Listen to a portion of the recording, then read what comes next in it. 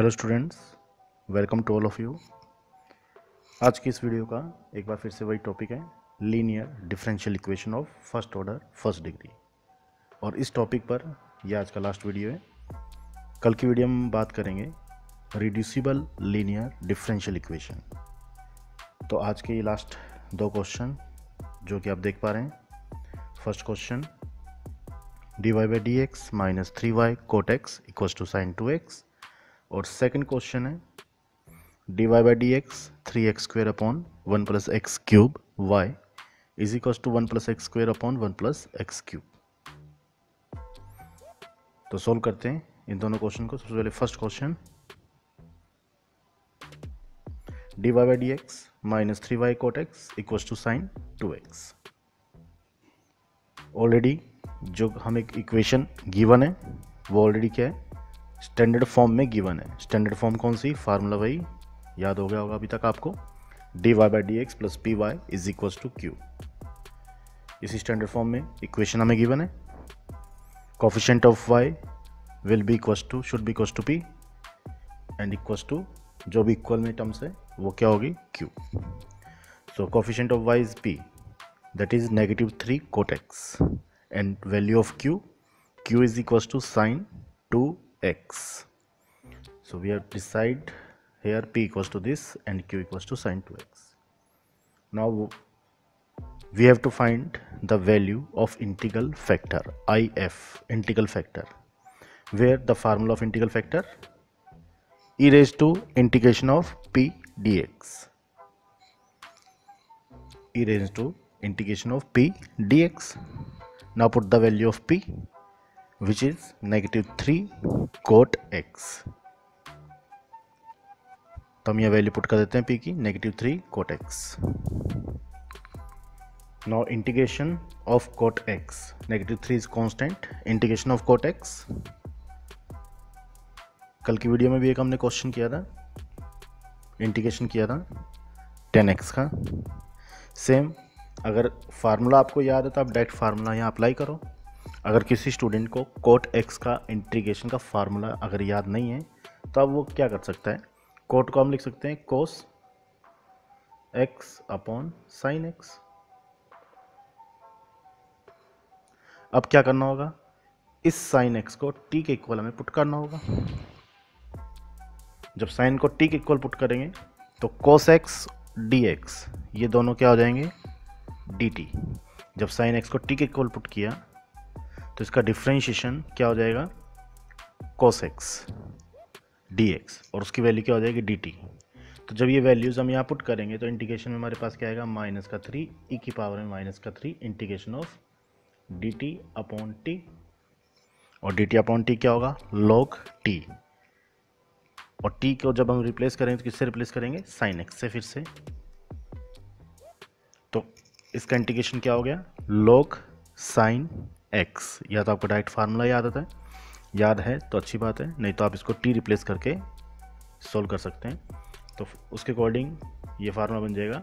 Log sine x negative three constant as it is और फिर से by the property of log a log b can be written log b raise to a so that we can write e log sine negative three x now e raise to log will be cancel out e और log हमेशा क्या हो जाएँगे? आपस में cancel out हो गए, जब भी ई की पावर में लोग आ जाएगा।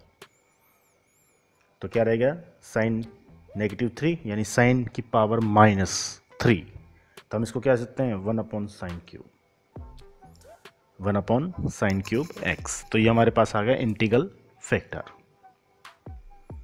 next solution full and final solution जिस फार्मूले से होगा, वो होगा y into integral factor equals to q into integral factor dx plus c.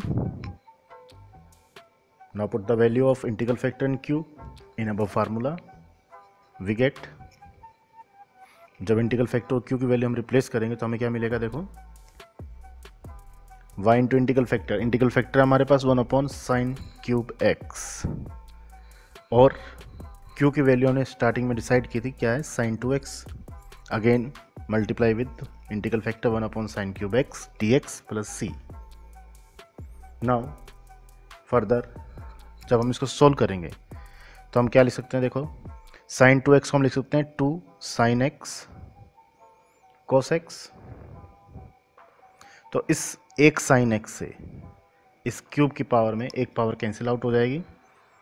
तो क्या रह जाएगा ऊपर तो टू कोस एक्स और डिवाइडेशन में क्या रह जाएगा? साइन स्क्वेयर एक्स कुछ ऐसे ही रहेगा। तो इसी अकॉर्डिंग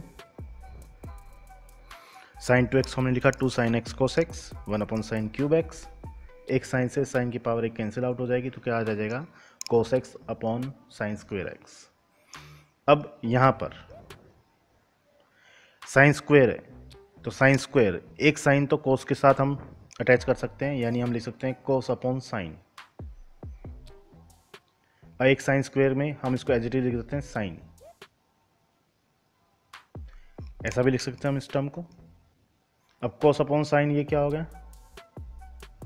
कोस अपॉन साइन ये बन जाएगा कोट और वन अपॉन साइन ये बन जाएगा कोसेक वन अपॉन साइन किसके इक्वल होता है? कोसेक के इक्वल होता है। तो नेक्स्ट हम इंटीग्रेशन लिख सकते हैं two integration of cot x cosec x तो इसी तरह से two, cot x cosec x d x plus c अब इसका integration cot x cosec x का इंटीग्रेशन क्या होगा? स्टूडेंट्स अगर आपको याद है तो अच्छी बात है, नहीं तो आप नोट कर लीजिए। कोट एक्स कोसेक एक्स का इंटीग्रेशन होता है minus two cosec x minus cosec x two as it is cot x cosec x का इंटीग्रेशन होता है माइनस कोसेक एक्स और कोसेक एक्स का डिफ्रेंशिएशन होता है minus cot x cosec x तो ये इसका फुल एंड फाइनल आंसर है। चलते नेक्स्ट क्वेश्चन की ओर। Second question d y by d x plus three x square upon one plus x cube y is equals to one plus x square upon one plus x cube पहले इसको जल्दी से solve कीजिएगा अपने आप। इस video को यहाँ पॉज करके। उसके बाद अपना सोल्यूशन मैच करना। तो सोल्यूशन हम स्टार्ट करते हैं। Given equation again in standard form d y by d x plus p y equals to q already standard form में तो पी क्या हो जाएगा?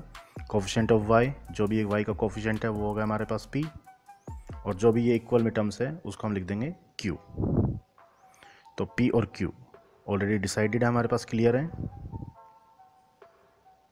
तो we can see that P is equals to three x square upon one plus x cube and Q is equals to one plus x square upon one plus x cube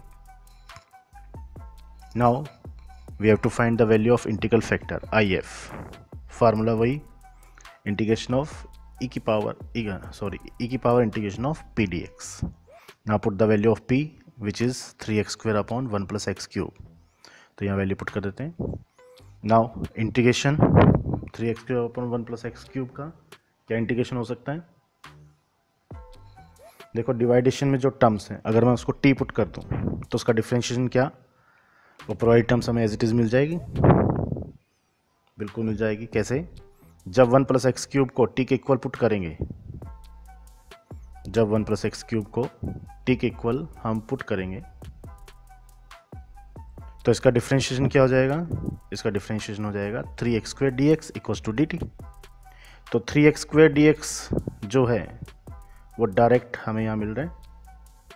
यानी ये complete दोनों value D T के equal हो जाएगी और one plus x cube को हमने क्या ले लिया? टी ये टी हो गया और ये डी टी हो गया। तो क्या बन गया? डी टी अपॉन टी और डी टी अपॉन टी क्या हो जाएगा? Log t log t t को फिर से रिप्लेस करेंगे। टी को रिप्लेस करेंगे फिर से कहाँ से? वन प्लस एक्स क्यूब से। तो वैल्यू हो जाएगी ई e की power log one plus x cube और ई e और लॉग कैंसिल आउट हो जाएँगे। तो इंटीग्रल फैक्टर डायरेक्ट हमारे पास आ जाएगा one plus x cube. Is that clear now for the solution y into integral factor is equals to q into integral factor x plus c तो integral factor one plus x cube replace कर देते हैं। Q हमारे पास था, one plus x square upon one plus x cube अब clearly one plus x cube से one plus x cube cancel out हो जाएगा। रिमेनिंग टर्म्स का, जो भी रिमेनिंग टर्म्स है, उसका इंटीग्रेशन बहुत इजीली हमें मालूम है। वन का इंटीग्रेशन एक्स और एक्स स्क्वेयर का x cube by three plus c तो ये था लीनियर डिफरेंशियल इक्वेशन के क्वेश्चंस पर वीडियो अब इसके बाद नेक्स्ट क्वेश्चन के लिए वीडियो तभी बनेगी लीनियर डिफरेंशियल पे, जो आपकी प्रॉब्लम्स होगी। तो आप क्वेश्चन कीजिएगा और कोई ऐसा क्वेश्चन जिसमें आपको प्रॉब्लम आ रही है, जो नहीं सॉल्व हो रहा है, उसको आप यहाँ शो कर दीजिए कमेंट बॉक्स में। उस क्वेश्चन के लिए एक वीडियो बना दूँगा मैं और आपको सोल्यूशन मिल जाएगा। So thank you for watching this video फिर से मिलेंगे एक नई वीडियो के साथ रिड्यूसिबल लीनियर डिफरेंशियल इक्वेशन के। नए टॉपिक के साथ। Thank you very much